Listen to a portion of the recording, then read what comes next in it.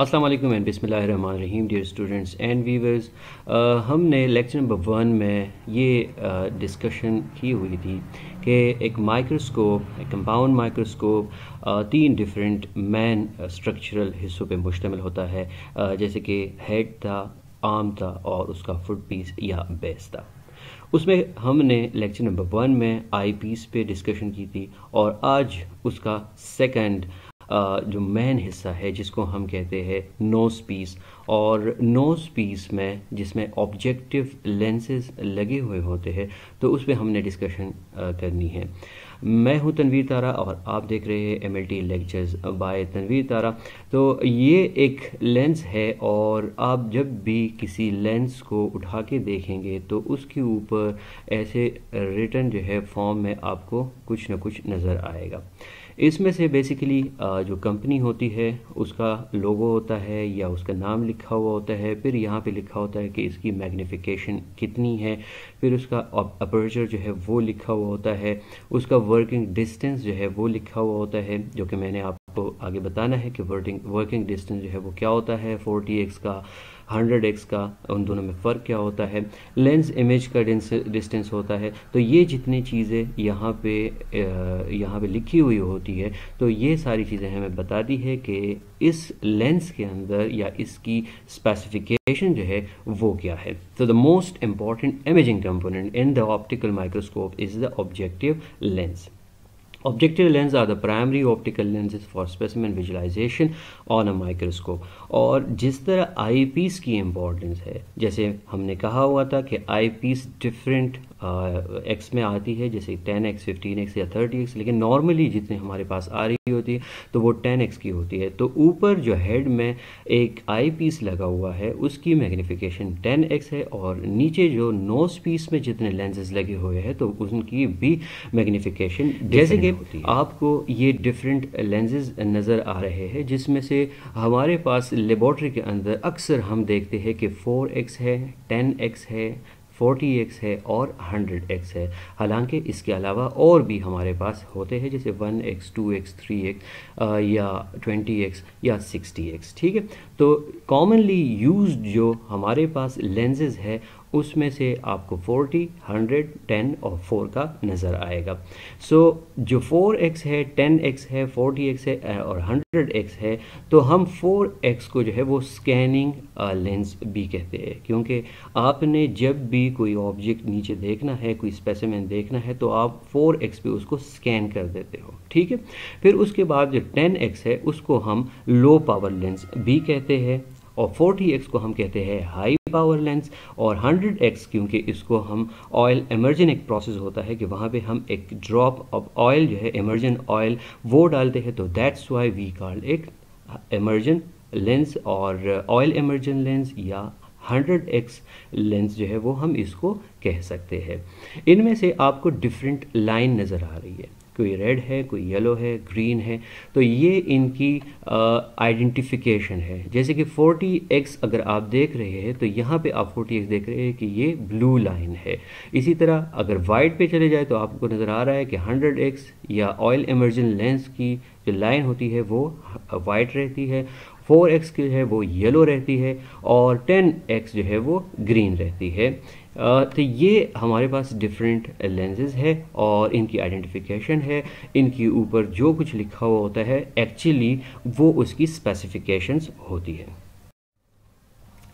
अब यहाँ पे जो कुछ लिखा हुआ होता है, जैसे कि टेन है और लिखा हुआ है स्लेश पॉइंट टू फाइव लिखा हुआ होता है या कुछ और लिखा हुआ होता है। तो एक्चुअली यहाँ पे ये हमें बताता है कि ये वर्किंग डिस्टेंस जो है, वो क्या है।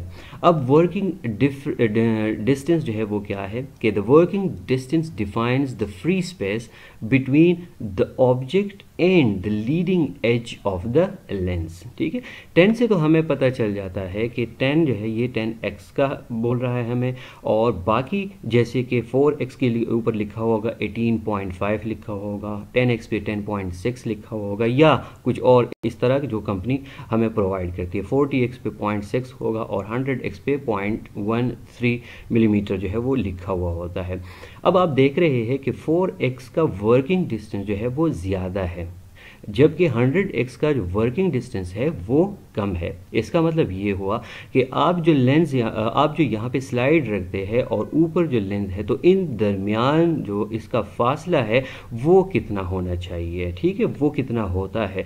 तो 4x में ये फासला, ये डिस्टेंस जो है, ये वर्किंग डिस्टेंस ये ज़्यादा होता है दैट इज़ 18.5 और स्लोली एंड ग्रेजुअली अगर आप लेंस को रोटेट करते हैं चेंज करते हैं तो वो डिस्टेंस जो है, वो कम होता जाता है। एंड फाइनली 100x का सबसे कम जो है वो वर्किंग डिस्टेंस होता है।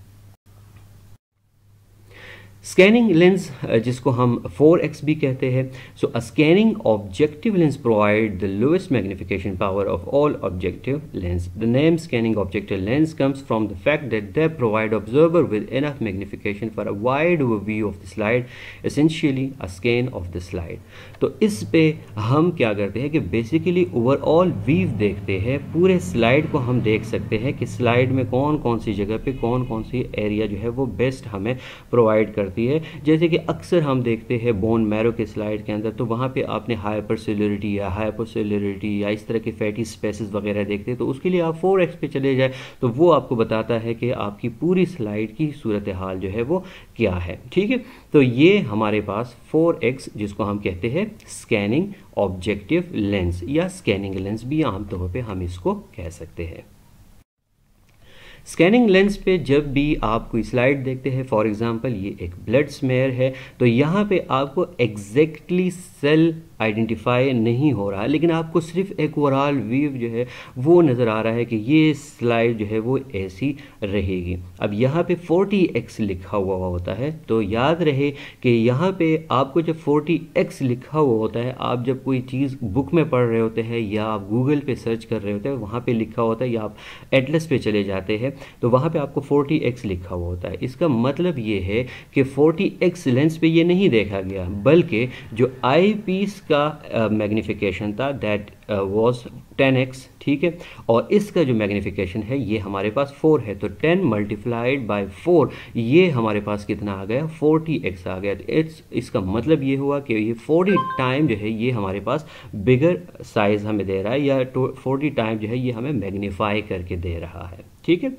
अच्छा अब उसके बाद जो है वो हमारे पास लो पावर ऑब्जेक्टिव लेंस है और लो पावर ऑब्जेक्टिव लेंस जो आमतौर पे हम कहते हैं इसको टेन uh, एक्स का lens so the low power objective lens has more magnification power than the scanning objective lens and it is one of the most helpful lens for general viewing purpose. तो general view का अगर हम इस पर देखते हैं क्योंकि आपने 4x पे कोई चीज़ जो है वो देख तो नहीं सकते आप सिर्फ़ एक ओवरऑल वीव देखते हैं फिर उसके बाद आप एक सर्टन एरिया जो है वो फोकस करते हैं और उसके लिए आपको जो है वो 10x की ज़रूरत पड़ती है। तो 10x के ऊपर भी आप देख रहे हैं कि इसके ऊपर भी डिफरेंट चीज़ें जो है वो लगी लिखी हुई होती है। जैसे 10 है पॉइंट टू फाइव है तो 160 है। जैसे 160 इसकी कंप्लीट लेंथ है, ठीक है? यहाँ से यहाँ तक इसकी कंप्लीट लेंथ जो है, ये होगी। पॉइंट वन सेवन जो है, इसकी कितनी वर्किंग डिस्टेंस है। टेन जो है, इसका हमारे पास कितना पावर है। तो ये सारी चीज़ें इसके ऊपर लिखी हुई होती है। और आप अगर लेंस को देखेंगे तो आपको पता चल जाएगा कि हाँ यकीन ये सारी स्पेसिफिकेशन जो है, वो लेंस की होती है। ठीक है? अब यहाँ पे 100x तो या, याद रहे दोबारा मैं कह रहा हूँ कि इसमें आप लोगों ने कंफ्यूज नहीं होना क्योंकि आपकी आई पीस की जो साइज़ था आई पीस का मैग्नीफिकेशन पावर था वो 10 था और 10 ये है तो 10 मल्टीप्लाइड बाय 10 आई पीस का ऑब्जेक्ट ऑब्जेक्टिव लेंस की मैग्नीफिकेशन मल्टीप्लाइड बाय जो हमारे पास नोस पीस का या ऑब्जेक्टिव लेंस का मैग्नीफिकेशन है, उसको मल्टीप्लाई कर देते हैं दैट्स वाई ये हमारे पास जो है वो 100x आया हुआ है। ये आप देख रहे हैं कि अगर 40x पे चले जाए तो 40x बड़ा एक बेहतरीन किस्म का लेंस होता है और इस पे ज़्यादा लेबॉर्ट्री में आप लोग इसी के ऊपर जो है वो रिलाई करते हैं। आपका ये लेंस बिल्कुल ठीक होना चाहिए। The high power objective lens also known as high dry lens. ठीक है, अब हमारे पास ये दो लेंस जो है, ये एक हाई पावर ऑब्जेक्टिव लेंस हो गया, दूसरा हमारे पास ऑयल इमरजेंट लेंस हो गया। तो ये दोनों जो है, ये बड़ी कमाल की ऑब्जेक्ट ऑब्जेक्टिव लेंस इसकी होती है और ये हमें जो चीज़ हम नीचे देख रहे होते हैं, जैसे सेल्स हम देख रहे हैं, वो हमें एग्जैक्ट बताता है, उसकी साइज़ बताता है, उसकी पेरिफेरल मॉर्फोलॉजी बताता है और इसको हम आम तौर पे कहते हैं हाई ड्राई लेंस या हाई पावर ऑब्जेक्टिव लेंस भी इसको हम कह सकते हैं। अब ये देख लीजिए आप कि ट्यूब लेंथ जो है, वो हमारे पास 160 मिलीमीटर है इसी तरह पॉइंट वन सेवन लिखा होता है तो ये आपकी जो है वो थिकनेस ऑफ़ कवर ग्लास है। फिर इसके बाद कंपनी नेम जो है वो मेंशन है। उसके बाद मैग्नीफिकेशन कितना करता है तो 40x है। इसके बाद ब्लू रिंग जैसे मैंने पहले बताया था तो 40x ये एक स्टैंडर्ड इसका कलर है। और इसके बाद पॉइंट सिक्स फाइव इसका अपर्चर जो है, उसकी साइज़ है। और ये सारी चीज़ें आपको, अगर एक कंपनी है तो सारी आपको जो है वो एक जैसी ही मिलेगी, यानी एक ही कंपनी की आपकी मिलनी मिलनी चाहिए, ठीक है? ये एक प्रेफरेंस मेयर है और ये आप देख रहे हैं कि 400 टाइम जो है ये अब बड़ा हमें नज़र आ रहा है। तो यहाँ पे आपको रेड ब्लड सेल्स नज़र आ रहे हैं, ये एक लीकोसाइड नज़र आ रहा है दैट इज़ न्यूट्रोफिल और ये हमारे पास जो है, अगर आप 50 एक्स पे देखते हैं तो आपको इस तरह की मैग्नीफिकेशन नज़र आएगी। अगर 100 पे आप देख रहे हैं तो मैग्नीफिकेशन बढ़ गई, ठीक है? इसी तरह 200 पे और बढ़ रही है और 400 पे जो है वो और बढ़ रही है, यानी सेल्स जो है वो आइडेंटिफाई हो रहे हैं एग्जैक्टली सेल आइडेंटिफाई हो रहे हैं। और अगर 100 पे हम 1000 पे चले जाते हैं, यानी 100 एमर्जन ऑयल लेंस पे चले जाते हैं तो आप मज़ीद जो है वो सेल्स को देख सकते हैं। ऑयल एमर्जन ऑब्जेक्टिव लेंस जिसको हम 100x कहते हैं the oil immersion objective lens provide the most powerful magnification सबसे पावरफुल मैग्निफिकेशन 100 एक्स की होती है और ज़ाहिरी बात है कि ये आपको कोई भी ऑब्जेक्ट जो है वो 1000 टाइम जो है वो मैग्नीफाई करके दिखाता है। इसमें ख़ास बात जो है वो ये है कि इसको आप जो है वो ऑयल इमर्जन एक प्रोसेस होता है। इसको एक प्रोसेस ही कह सकते हैं क्योंकि आपने जब भी आप स्लाइड जो है वो फिक्स कर देते हैं तो उसके बाद आप 100 के लेंस को ले आते हैं, आप देखते हैं तो आपको वो चीज़ इतनी क्लियर नहीं आती।